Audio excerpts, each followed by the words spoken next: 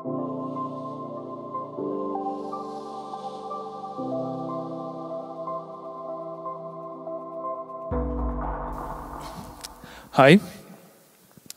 Um, yeah, excellent.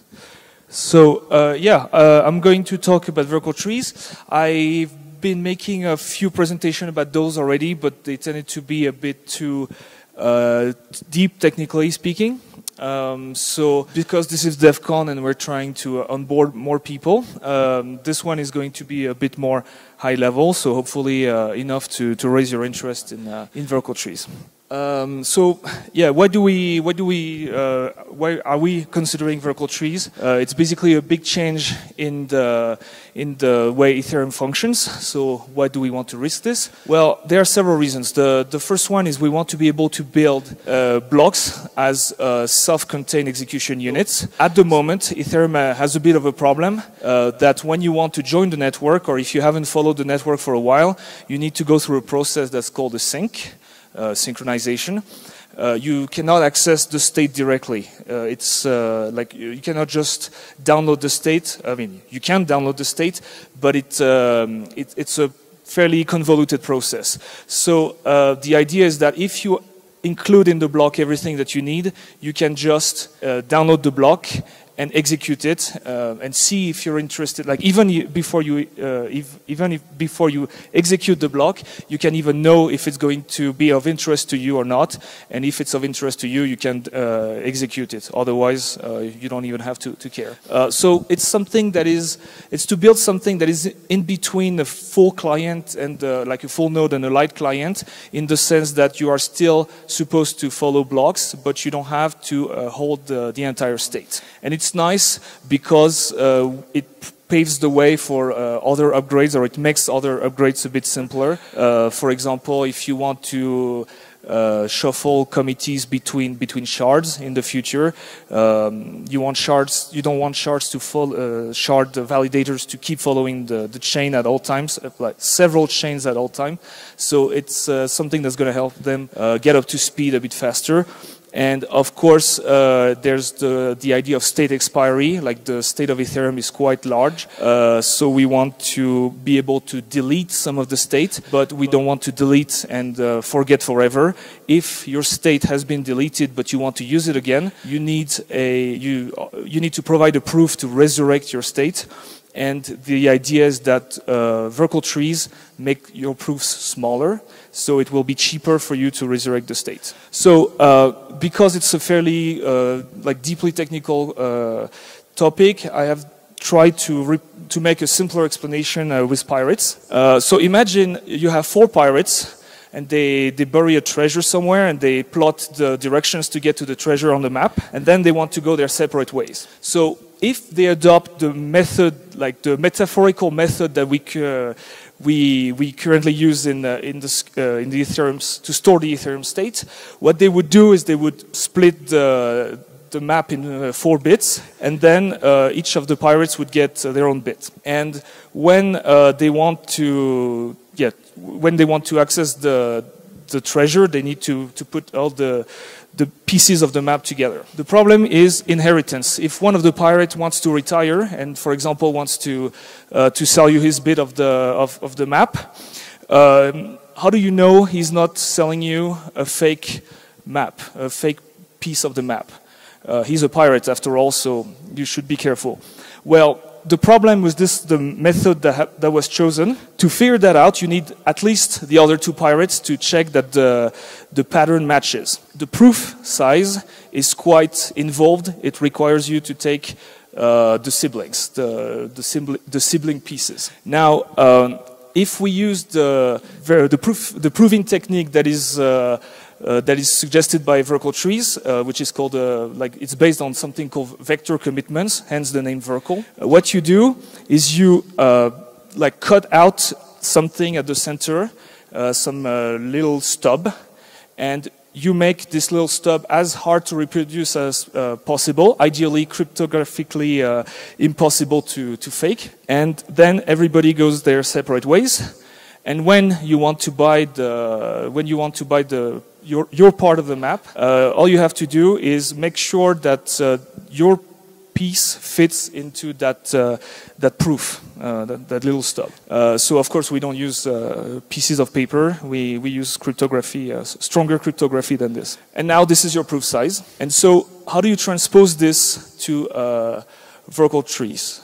Um, well, the current Ethereum state is stored in a tree where all the data of Ethereum is at the bottom of the tree and then uh, you group them. Uh, the parent is a commitment, the parent node is a commitment, and then the parent of that parent is also a commitment all the way to the top, and the, the root of the tree is uh, ending, ending up in the block. So if you want to prove in the tree, for example, the, the purple square here, if you use the current method, it's the same thing as with the pirates. For each level, you have to pass the siblings. And here, this is a very simple representation, but in, uh, in Ethereum, each parent node has 16 children. And the consequence of this is that you need to pass 16, uh, sorry, 15 other value for each value uh, at each level for each value you want to prove. So there are thousands of values uh, per that get touched per block. That's, that's a thousand times 15 values per level. And uh, if I remember correctly, the, the, the depth, the, tip, the average depth of the MPT is between 10 and 15. I don't remember exactly. So that's a lot of data. That's roughly, uh, if you want to pass the, that data in a block, that's three megabytes.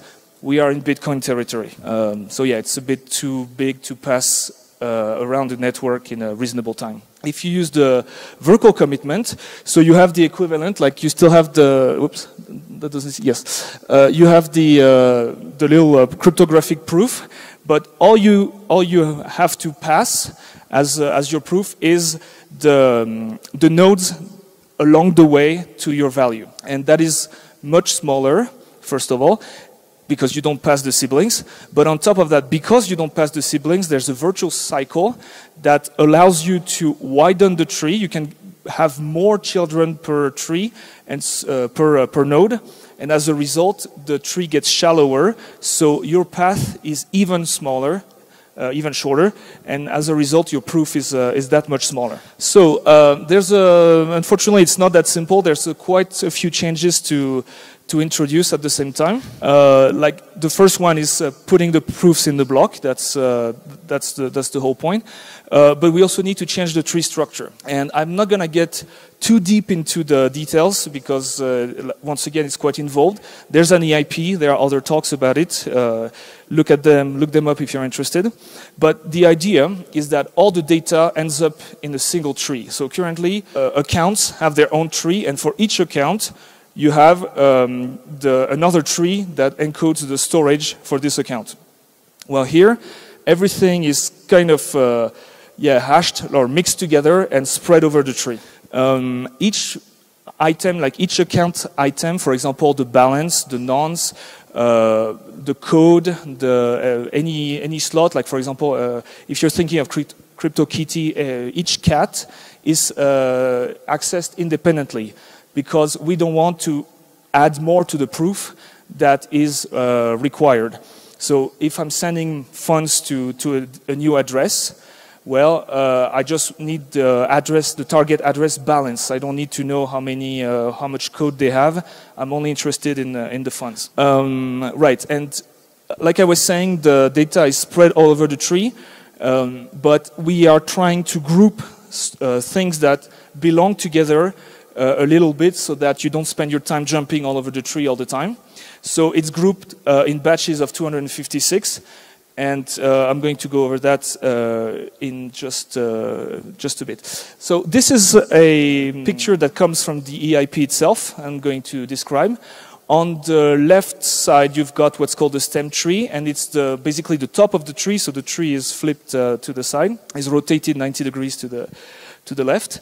And um, the root, uh, sorry, the, the stem tree uh, only has a branch node. So that means every node in that tree has at least two children. When the um, when you take your key and you follow the um, you follow the the path traced by the key, at some point you will reach a moment where there's only one group that is a group of 256 that is uh, uh, pointed at by this key. So there's this intermediate uh, like what's called an extension. Yeah, I don't quite see the pointer here. Uh, sorry, but the blue the blue box. Um, that the extension says this is uh, the prefix, the 31 byte prefix that every key below me um, have uh, like uh, are, are, keyed by. So um, that means that uh, if when when you go through the tree and you you have to compare the key that you're using with the, the encoding, the, the key encoded in that blue box. Uh, and if it's the same, that means your data is uh, in the group below it. Otherwise, your, uh, your data is not present in the tree. And then there's the suffix tree, so that corresponds to the 256 values. And there's a, a fourth column that we're not going to cover. It's not really important for, for this talk. Um, so, like I said, every, every piece of data is broken into chunk. That means, for example, the code is uh, broken into bits, uh, into 31 byte pieces that are fitted in a 32 byte uh, piece. The storage slots are also have their own, uh, on, have their own data. The, the balance has its own uh, value. And um, each of these values, each of these chunks is given an offset. And for example, the, the, the balance is always at offset 1, the nonce at offset 2. And then um, a bit further, you have the beginning of where the code is supposed to start. And then even further, you have the, the bit where the, uh, all the data slots are, are supposed to, to be. And the way uh, you find them in the tree is you take the address of, uh, so you, you have a key that is made of two, two parts. The, the, the 31st bytes are called the stem, and the suffix is just a byte that indexes in the group that we saw before. Um, I'm talking about the, the third column here. So the, the last byte is the index in there. And, um, and so the, to build the stem, what you do is you take the address of the account and you take the, the first 31 bytes of uh, the, the offset of that chunk and you, you hash them using uh, what's called a Pedersen hash. So it's like uh, it's like Keccak, but it's uh, much more friendly uh, for uh, for zk applications, and it's also uh, much slower. But you, you, get you, so you get a 32 byte values. You take the the 31st bytes of this value, and that gives you the stem. And the way you use it, when you compare it to the tree, the stem will give you the path through the stem tree and the extension. And when you, you found that, you use the suffix to select the, the value in the group.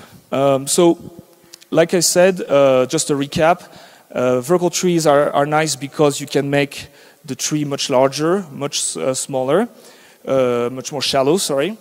Um, you can also uh, experiment with, uh, with ideas like you could think, so I know that this is very inter interesting to dApp developers, you can just download the blockchain, not care about the state, and when you look at the when you look at the proof in the block at the witness, you can uh, you can figure out if you're um, if that uh, block is accessing something you're interested in, excuse me interested in. So, for example, um, if uh, yeah if you're CryptoKitty uh, you want to see if the CryptoKitty contract is accessed. If so, you just uh, execute that block to update your internal state. If not, you don't care. Um, yeah, and I was, uh, uh that was just a recap for the rest of the slide. So what is the current state of uh, Verkle tree implementations? Uh, we have one and a half running test nets. Um, the, we have one testnet that is fully working. It's a proof of work testnet called Condrieu. I'll give the address at the end. Um, and so uh, proof in blocks, uh, it works. It works. It's been working for a while. And then uh, there's a proof of stake testnet that is uh, currently in bring up phase. So uh, unfortunately, I wasn't able to get it to, to work for, for Devcon, but it, it's going to happen shortly. When we do performance, we uh, currently have like performance testing. We see that it's currently five times slower than the regular mainnet. So when we replay blocks, from mainnet, mainnet on a translated Verkle tree layer. It's uh, five times uh, slower. Um, we have been, uh, we took it down, it used to be 40x, so it's, uh, it's a bit faster already. We have another avenue uh, to, to uh, make it faster, but it's, I, I, mean, in my opinion, it's always going to be a bit slower than uh, the current uh, method, but it offers some opportunities uh, to to build interesting applications. So I think it's worth it. Um, and there are there are like three implementations. And there's a fourth one ongoing with with Besu. So I wanted, so I don't know if it's quite readable, but I wanted to give an example of uh, what you can do with Verkle trees. So there's a block explorer on, on that testnet, on the running testnet, and there's a piece of software uh, that is able to read the block and reconstruct a view of the network, sorry, of the tree, that is uh, everything you know to re-execute the block on top of it. Um, so I don't know if it's quite visible. I still don't see the pointer. But basically you can see that the, the leftmost branch here is an account the the next branch, the branch uh, the right of it is another account. Uh, I mean, I can tell because uh, uh because of the way the the last level uh, looks like. And uh, you have the the other two branches from the root. These do not have a very deep tree, and that's because this is a proof of absence. So that means. this is the way you signal that those branches those locations did not exist before the execution of the block. And what definitely happened here um, is that those two uh, accounts on the left probably sent funds to those two accounts on the right that did not exist yet. Uh, that they will exist after the, the execution of the block. Uh, so it, it's quite interesting because you, you can see what's going on, you can visualize it this way without loading the whole tree. Uh, right, so this is the current state. What are uh, the challenges we still have to overcome? Uh, one of them is the transition. Uh, converting a, a, Merkle tree to a Verkle tree is no, is no walk in the park. Uh, it requires a lot of RAM, it requires a lot of disk space, um, and uh, yeah, it's, uh, it's, it's quite difficult. So um, there are two methods, really two avenues to do this, this translation. Either you entrust the conversion to very powerful machines. Uh, I have a test machine that, that is a Xeon. It takes it uh, six days. I know Erigon is able to do it in like uh, less than a day, but even even for Erigon, it's uh, it's not instant. Um, and uh, the where was I? Yes. Um, so that's the first avenue. The second avenue we have to do the translation is simply to pace it uh, to the slowest machine on the network. So uh, that would be to do uh, a translation of, let's say, 5, 10, 100 values per block. But this would last for a month. But then every node on the network would theoretically be able to follow. Um, so these methods have names. Uh, the one where uh, like you follow the pace of the network, it's called the overlay tree. Um, the other one was called offline conversion. There's a third one, that is uh, known as the roll-up appreciation week, where you just do nothing for a week or a month, and you wait for everybody to be done uh, translating.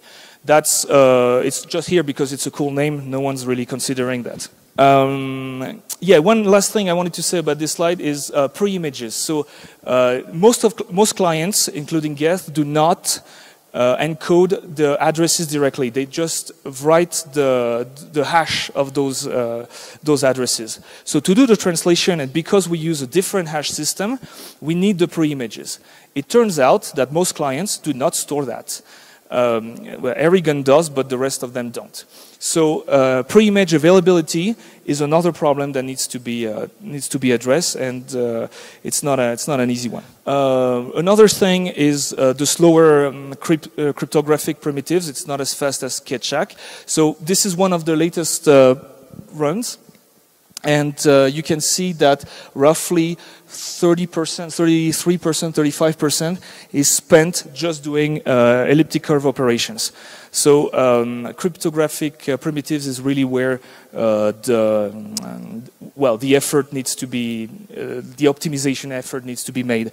So either by writing faster crypto or uh, by uh, by not calling those functions as much. So caching, for example, is is a technique that has worked well. Yeah, there's a slide on database design. So basically, the idea is that that like current most clients have written their, uh, optimized their database layout and their database uh, access layer for the current MPT. a lot of those assumptions are no longer valid, uh, let alone help, helpful with Verkle trees. So there will be some uh, need to adapt to something that is a bit close to, to what Erigon is doing, uh, but that will take time, unfortunately. And uh, I wanted to finish on people, uh, on what you can do if you want to help. Uh, the first thing would be there, there are test nets. So the first thing you can do is just try to deploy your contracts on, on, test, on the test net and see if that works. Um, if uh, you can also try to run your own client, um, like uh, hashtag testing the verge. Um, you can also modify uh, a CL client to figure out how to uh, propagate the proofs because currently uh, it's not it's, it hasn't been defined. So it would be interesting to to run a fact-finding mission uh, yeah finding out where and how the proofs need to be need to be propagated in a in a proof of stake world. Like I said crypto is the uh, is the bottleneck. So if you can uh, find a better crypto cryptographic primitive than what we have that would be also quite helpful. Um, yeah, it's also going to affect uh, layer two solutions. Like presumably, layer two uh, uh, layer two um, groups don't really want to to uh, diverge too much from uh, from the main net, so um, they they will need to they will need to. Um, to adapt as well. There's no really, uh, there's not a clear path for that yet. Um, like I said, pre-images are also a problem. So if you have a way to to make pre-images available to everyone, that's a very good uh, that's a very good test, very useful.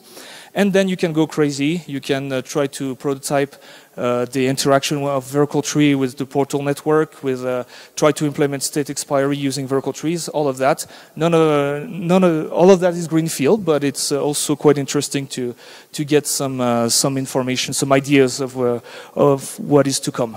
And with this, that's pretty much it. Uh, I have put the addresses of the two test nets, knowing that the second one is uh, still in a bring up phase, so it will probably not work today. But the other one uh, is the landing page for the proof of work testnet, and this one works or should work. Um, and uh, you can look, you can look at the Explorer, you can send uh, you can send transaction, you can, you can try everything. And that's it. Thank you. Thank you so much, Guillaume. Guillaume, do you mind taking a minute uh, to answer our questions? Sure. Uh, if you do have any questions for Guillaume, go ahead and raise your hand, and one of the volunteers will actually come towards you. Uh, there's a question right there uh, in the fourth row, fifth row with the black sweatshirt. You mentioned accessing data is going to be a little bit different. Does this imply that like um, tooling teams and wallets and such now are going to have to like enforce access lists now moving forward? No, uh, it doesn't mean that, but it means that the gas model is going to change to, uh, to follow this, this new model, uh, which is why I was like, if you've got a contract, please deploy it on the testnet. Uh, but you do not need, uh, access lists are going to disappear. They're replaced by uh, something else that is not really ex exposed to the, to the, to the user. So to, for the end user, in theory, apart from the gas cost, everything will be transparent. Oh, there's one more question. Do you mind answering one more? Can I repeat the question real quick? Oh, sure. I'm just going to paraphrase it real quick. And they said that they wanted to know if there's any drawbacks to the Verkle trees. Yes, there's plenty of drawbacks. Like I said, there's the the transition, the the slow crypto. Um, otherwise, uh, yes, like the biggest drawback I only alluded to uh, in the previous answer, it's that the gas model changes, and that means that a lot of code, uh, you know, like uh, contracts tend to some contracts tend to be very optimized for gas, uh, those optimization can turn out to be completely obsolete and counterproductive. Uh, so that, I would say that's, uh, that's the biggest uh, drawback I can think of. Awesome. If you have any other questions for Guillaume, I'm sure you'll be over to the side. Yep, Feel free to ask absolutely. him uh, after the talk, too. Thank you. Awesome. Thank you.